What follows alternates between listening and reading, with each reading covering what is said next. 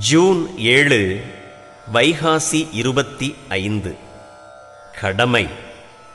கருத்துடன் என் கடமையைச் செய்வதே உன் வழிபாடு என்பதை இறைவா நான் கற்றுக்கொள்வேனாக.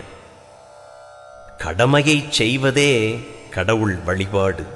ஆகையால் அதில் மேலானது கீழானது என்பது இல்லை.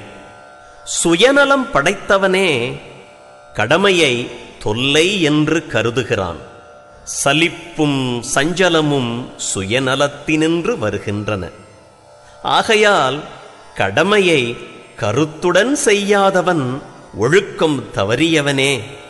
தொடர்ந்து மகிழ்வுடன் தன் கடமையை செய்பவன் கடவுளுக்கு உகந்த கருவி ஆகிறான். கர்மண்யேவ அதிகாரஸ்தே. மா பலேஷு கதாச்சனா. பகவத்கீதை. செய்கர்மத்தே அன்றி சேரும் பயன் தன்னில் ஐய உனக்கில்லை அதிகாரம். பகவத்கீதை வெண்பா.